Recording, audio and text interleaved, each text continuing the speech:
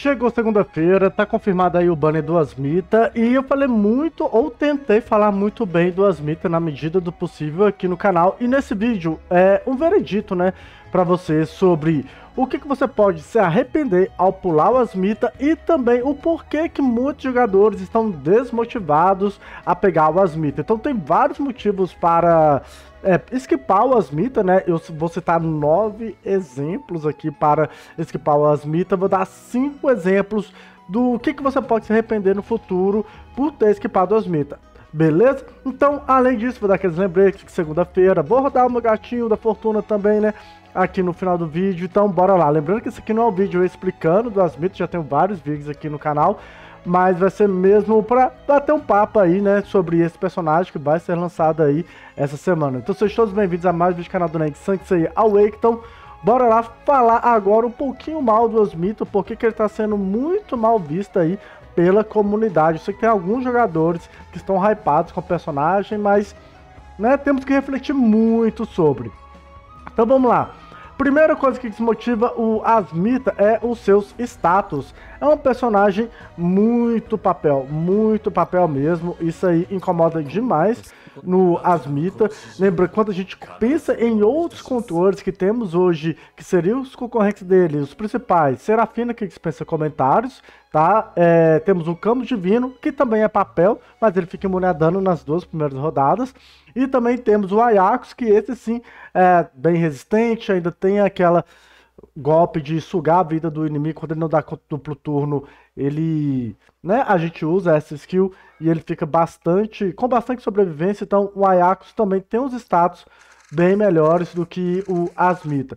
Então, em questão de sobrevivência, isso incomoda um pouquinho os jogadores, você tá vendo, ó, ele tem defesa S, PVA e defesa A, então isso incomoda muitos jogadores. É mais ou menos a vibe também. Que a galera não gosta de utilizar o próprio Yoga Divino, né? Que ele é muito papel, como vocês podem ver, é quase os mesmos status de classificação do Asmita e também do Chakra de que é outro personagem também bem papel e incomoda a gente ter que dar uma prioridade muito rápida para esses tipos de personagem, beleza? Agora, o segundo motivo que desmotiva os jogadores a usarem o Asmita é o meta. O meta não está favorecendo ele, igual eu disse na alguns vídeos dele aqui no canal. Você tem que usar alguns banimentos estratégicos e é muito chato utilizar banimento estratégico para você utilizar o personagem. Então temos muitos metas que ele vai... O abafamento, que é o principal estratégia dele de controle, não vai funcionar, né? Altanatos, é o Shura Divino. Temos o Shu MM que purifica o abafamento dele também, embora ele vá aplicar o debuff, né? De aumento de dano naquele alvo que foi purificado pelo Shu MM, acredito eu. Então, ele tem esses problemas. A Artemis, né? Build tapinha. Então, né, ele vai neutralizar um alvo e o resto tudo vai dar ataque básico e acabou. Então, as mitas não servem pra nada. Ah, se for o Ajax, controla 3, se for o Camus Divino, controla de 0 a 6. Tá vendo aí a diferença? Então, isso aí desmotiva, né? Jogar com as Asmita. Óbvio que temos personagens aí, metas, que o Asmita pode sim é, fazer vantagem, mas com qual frequência você vai fazer vantagem? Vai ser umas 80%? Comandante Pandora tá em campo, ela faz vantagem em todas as lutas. Tá, colocou o flagelo em campo, ela já tá fazendo vantagem. O Asmita vai fazer vantagem em todas as lutas, como é uma comandante Pandora, como é um Ajax controlando até três, é, né, de 1 um a 3 inimigos. Então isso incomoda também no Asmita esse RNG, tanto para ele aplicar os debuffs, quanto né, depender do inimigo também, tá certo? É, outro detalhe também, que nós temos aqui é, que incomoda o Asmita é os seus concorrentes, como já citei nesse vídeo. Temos a Serafina, temos o Campos Divino, temos o Ayakos, que são controles que, na minha avaliação, chamam muito mais atenção no meta atual. Você tem esses três investidos, se você gosta da vibe de controle, é a Comandante Pandora também, né? Então você tem esses quatro investimentos aí na sua conta. Se você não tem, eu recomendaria o pai dos personagens, porque até mesmo todos são baratos todos são baratos. Ayako joga com 2 upskill, Comandante Pandora 11 upskill, Campos Divino já roda com 16 upskill, né? Um 1, 5, 4, ele já roda legal. Serafina já roda legal, tudo 1, talvez possa ser até melhor que o, o nossa amiga aqui é, Asmita, porém Serafina legal 1343 já vai ficar aí até legal, né? Que inclusive é a minha Serafina também, que dá 26 livros, acho que é 26 livros, 1343. Então, os concorrentes do Asmita ele já chega um pouquinho obsoleto. Ele tem o diferencial de aplicar as estratégias de suporte, né? De purificar né, a sua equipe, colocar aquele estilo de mé dele também né? Que só a Serafina que tem estratégia de suporte aqui de todos os concorrentes. Agora, Comandante, Camus e Ayakos não tem estratégia de suporte para a equipe, que é um diferencial do Asmita. Mas também não ajuda. O shield é muito porco. Se fosse um shield melhor, mais ou menos, pelo menos igual da Marechal Pandora, seria legal, né? Da Marechal Pandora é um escudo que incomoda, né? Na luta, o do Asmita não incomoda tanto assim, porque é muito pouco. Se melhorasse o shield do Asmita, eu acho que ele poderia ser melhor, talvez dobrasse triplicasse, talvez. Poderia chamar muito mais atenção, né? Porque o Shiryu bota muito escudo a custo zero, por exemplo. E é muito escudo mesmo. A Marechal também é custo zero e bota muito escudo uma vez por rodada. Não vemos essa habilidade de suporte dele ser tão eficaz. E também o Purificar Quase ninguém aplica debuff que é além de desacelerador. Vamos ver o que, ele vai continuar purificando. Se ele purificasse controle, seria legal. Temos a Serafina aí no meta, ele seria muito bom com a Serafina. Mas infelizmente não purifica. Né? Pode purificar um Odisseus, talvez, né? Com o seu choque, por exemplo. Mas também não ajuda aí os concorrentes do Asmita. Chamam mais atenção pelo motivo anterior também do meta. O quarto motivo é o próximo personagem, né? Estamos aí aguardando o Radamantes. Quer dizer, eu acredito que vai ser o Radamantes, né? O Divino. E assim, não sabemos se ele vai ser bom, não sabemos se ele vai ser, conseguir ser pior do que o Asmita. Mas ele vai ser um DPS. DPS tem uma singularidade aqui. Que todo DPS que a GT lançar tem que ser roubado. Afinal de contas, o DPS vai concorrer contra o Thanatos, né? E deve ser pior do que o Thanatos vai ter que concorrer contra a Lone, contra a Cano de Gêmeos, contra o Shuri Divino, contra a Manigold. Então, o DPS, ele tá num nível muito acima. Não adianta ter estratégias é, peculiares. Tem que ser OP. Então, o Radamantes, eu tenho um hype maior para DPS, porque DPS é muito foda. Quando você pensa no Asmir, ah, vai concorrer contra controle, ah, temos o Camus, Ajax, que são personagens assim que estão ali no meta, são AP, mas poucos jogadores usam, exceto a Serafina aí que veio né, trazer o controle pro meta. DPS não, DPS tem muito personagem que muitos jogadores têm. Tem até o Sukiyo, que de repente ficou obsoleto aí no meta também. Então o Radamanx eu tenho expectativa que ele vai ser foda. E é interessante a gente guardar pelo menos 30 livros para o Radamanx. Isso aí já pensando no final de março, início de abril, que é quando ele deve ser lançado no global. Se ele for ruim, beleza, dá um skip e economiza aqueles livros, porque a gente vai falar agora do próximo motivo, 5, que é o SS, que eu especulo que vai chegar em junho.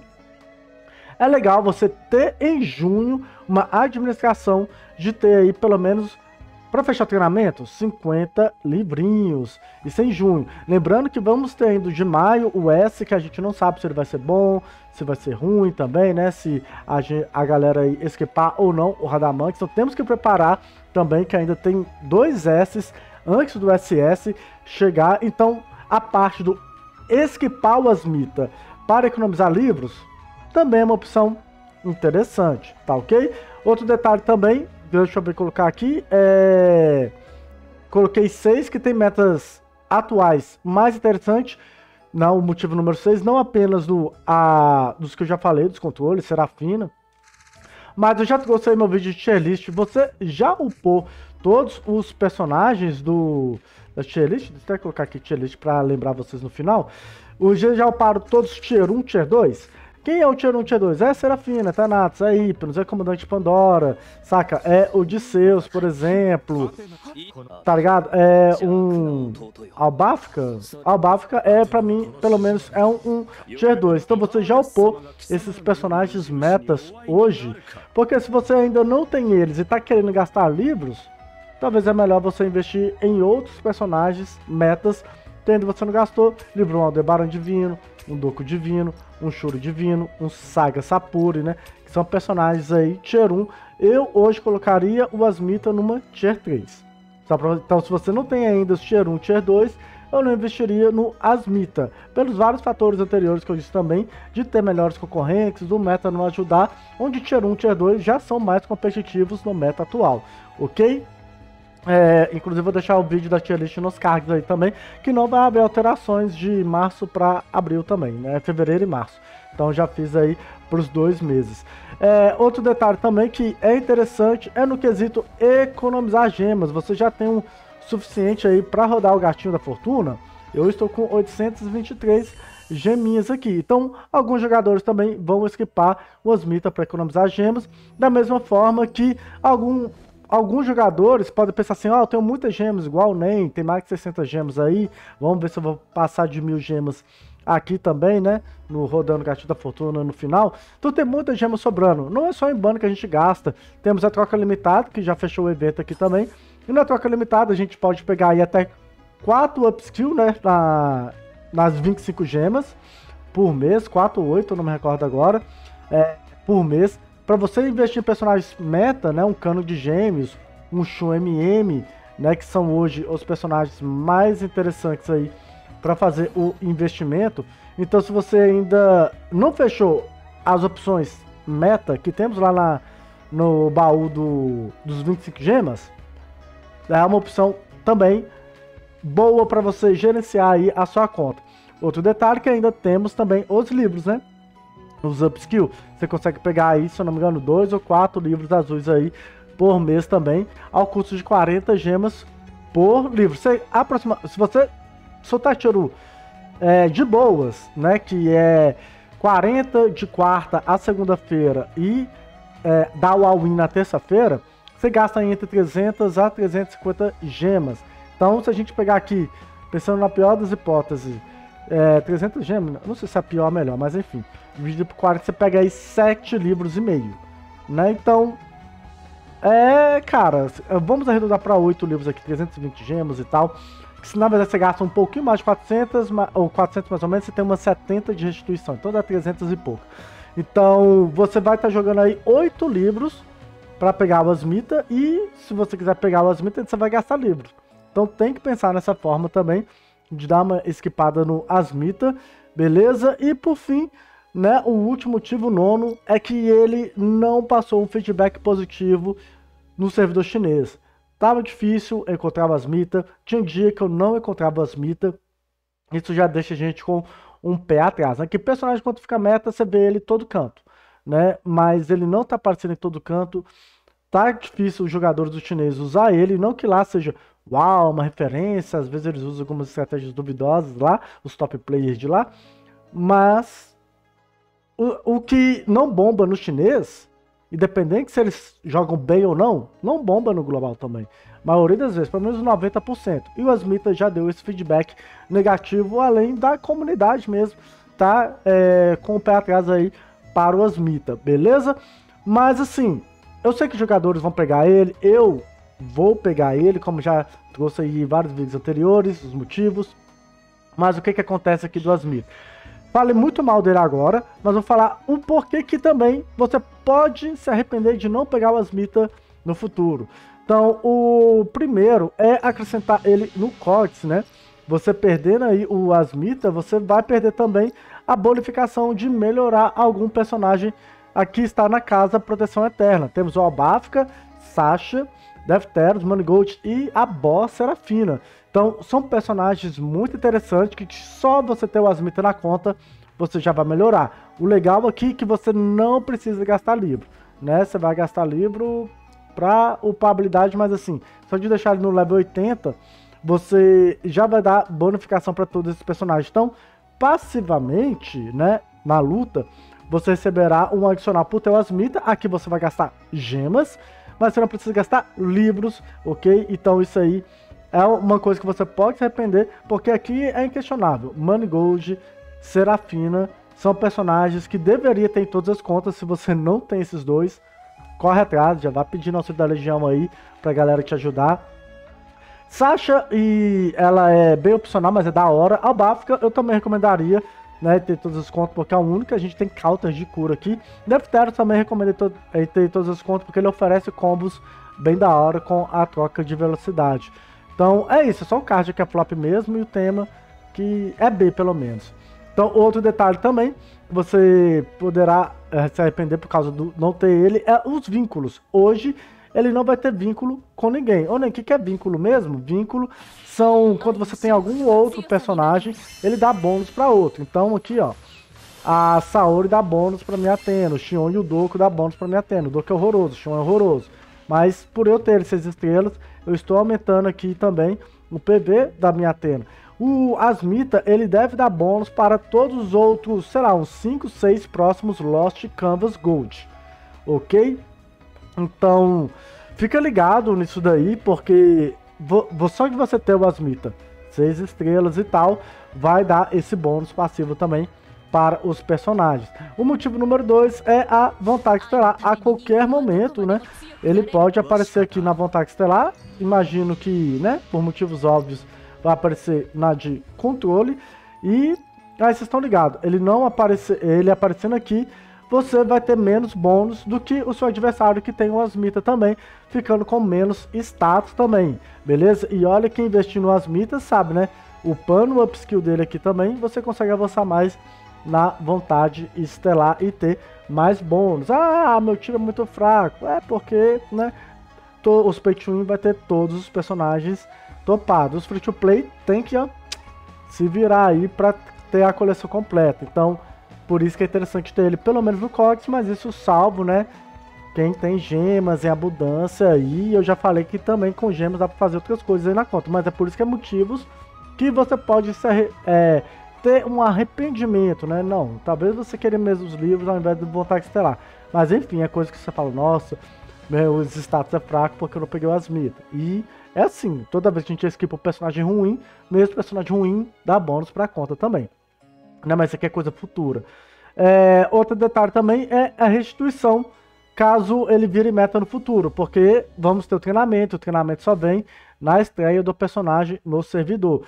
Então, você esquipando o Asmita, você vai perder o treinamento dele. Então, nessa um Asmita aí, 1533, você vai estar tá perdendo um livro verde e meio, mais todas aquelas outras restituições que tem lá no, no treinamento.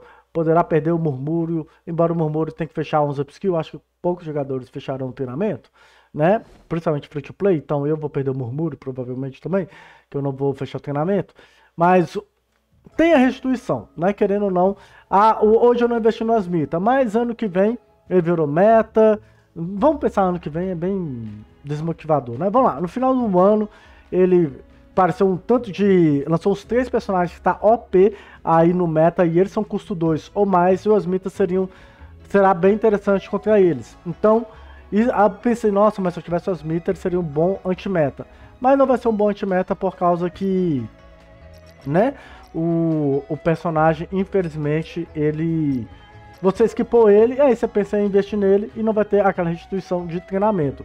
Outra coisa também é estratégias pontuais. Todo personagem lançado novo, eles oferecem estratégias é, para sua conta. Ah, eu esquipei o Aiolos, estou feliz, beleza.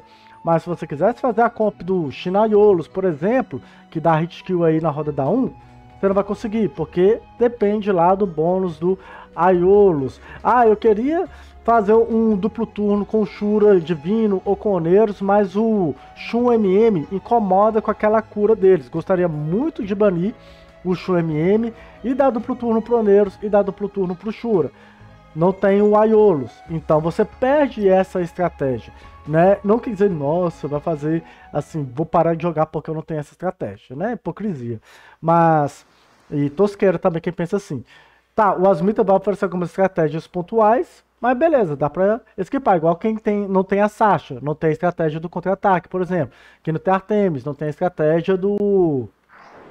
do. do ataque. Ah, quem não tem o Thanatos CR igual eu, não tem a estratégia de ganhar sozinho, né? Você só coloca o bicho no campo, ele ganha a luta sozinho. Que eu já perdi duas vezes no automático dos Galácticos, só porque o rombado tinha lá o Thanatos, que inferno de personagem. Aí, então, você perde algumas estratégias. E é por isso que o você vai perder essas estratégias. É legal ter todos os personagens? É legal, mas tem aqueles nove motivos que eu falei do porquê que a galera tá querendo esquipar. Mas isso aí é um arrependimento que você pode ter. Nossa, pensei nessa estratégia aqui, seria tão legal se eu usasse. Não vai poder utilizar porque o personagem não existe na sua conta. Ou não tá com livros investidos, né? Porque tem a galera que vai pegar pela estratégia do Codex que eu citei aqui nos dois primeiros motivos dos arrependimentos. E por fim, o meta futuro de custo de energia. O meta pode mudar, né? A qualquer momento. Pode lançar algum personagem aí interessante que gasta 2 de energia ou mais. E aí o, o como é que fala? O Asmita seria um ótimo anti-meta e você não poderá utilizar porque você não tem ele na conta. E esse então seria aí nove motivos que a galera tem que tá querendo esquipar o Asmita e cinco motivos que você pode ter arrependimento ao esquipar o Asmita, beleza? É, esquipar o Asmita não é uma escolha que eu acho assim nossa, você é burro. Não, pode ser até uma escolha muito inteligente para várias situações de contas. Na minha situação, eu acho interessante, até porque eu tenho gemas ao infinito. Acho que quem tem muitas gemas deve pegar personagem pelo menos para incluí-lo no códice. Gastar livros azuis aí, que é um pouquinho perigoso para quem não tem livros azuis, beleza? Mas para quem tem gemas infinitas, pode ser. E tem aquela coisa, né? É, ah, mesmo gastando gemas infinitas, você pode trocar lá na, na troca limitada por livros azuis. Mas eu acho que ter o Asmita faz mais diferença. Que querendo ou não, dá pra pegar mais algumas restituições de treinamento mesmo no pano skill, né? Dá pra pegar algumas outras coisinhas lá que não vai valer as gemas, mas você vai gerar food com, com as gemas e você vai pegar cópias de S, né? Quem sabe vem algum aí também que você gostaria muito. Eu tô querendo muito que venha Doco Divino aí pra mim, Thanatos, né? Hipnos, né, Alone, pode vir alguns SS nesses 400 tiros que você vai dar aí aproximadamente no Asmita jogando nas diárias, ok? Então é isso, agora a gente vai fechar com os lembretes aqui para vocês, né, que hoje é segunda-feira e eu vou rodar meu gatinho. Então vamos lá, pacote, né, não esqueça aqui de pegar o pacote de 100 diamantes, ó, 100 diamantes, 100 de vigor. Eh, temos aqui o reset da Arena de Honra também, não esqueça de pegar aqui o seu upskill da Arena de Honra. E hoje começa também o Campeonato de Amiel de 10 à meia-noite, horário de Brasília. Faça aqui duas lutas, né? Uma vitória e duas participações para pegar dois baús aqui, que são baús interessantes também de segunda a sexta. Eu sei que muitos jogadores esquecem isso daí, então dá uma olhada lá que são baús, né, galera? É baú. E baú, principalmente para quem é free to play, são bem recompensas até interessantes lá, às vezes melhor que o do Duares Galácticos. Duelo Galáctico tem diferença do criação de cosmo dos sonhos que a gente nunca cria, mas pelo menos um recurso. Então é isso. É, lembrando agora que temos ainda o Gatinho da Fortuna, né? Foi lançado hoje, então vou rodar aqui meu Gatinho da Fortuna. Deixa eu pegar aqui uma calculadora. 8, 2, 3 e ver se vai dar boa ou não. Veio 2. Vamos lá, o próximo aqui então. É, posso conseguir até 18. Consegui 3. Um, tá, até 23. Ah, aqui eu perdi o cálculo. Consegui 9, beleza, então veio melhor, né? Já foi lá na média dos 30. O próximo eu posso conseguir até 38. Consegui 20. Então, passou de 50%. Essa aqui deu boa. Próximo eu posso conseguir até 48. Consegui 15, é, deu a média, né, uns 30%. Esse eu posso conseguir até 58. Consegui 19, né, deu um pouquinho abaixo dos 30%, mas tá ok. Aqui eu posso conseguir até 88. Consegui 23, né, sempre bem 20. E agora é a decisiva, né? Posso conseguir até mais de 200 aí. Então, bora lá. Eu não consegui muita coisa não, hein? 724. Então fiquei com 978, então deixa eu fazer aqui menos 978. 155, né? A média, todo mês aí, 150 gemas gratuita. Vamos fazer aqui minhas 10 últimas da semana aí do Aiolos, das 60 semanais aí do Aiolos. Veio um fragmento. Parabéns, Aiolos. Eu gostaria muito de upar ele também, que meu Aiolos é 1533, né? Flopadíssimo. Até upar a quarta e a quinta. A, a quarta e a terceira skill dele vai ser tenso. E não veio nada, pra minha alegria. E agora só deixar uns lembretes aí sobre o Asmita do que eu já tenho de conteúdo aqui no canal. Ontem eu postei um vídeo com várias informações e dicas mesmo do Asmita, tá? Ele tem várias curiosidades pela aplicação dos seus debuffs, tá? Eu cito aí todas essas aplicações também de curiosidades. Temos aí o review dele em PTBR, que eu não tenho em PTBR aqui no canal, né? Os outros eram tudo chinês. E algumas dicas. É um vídeo bem longo, né?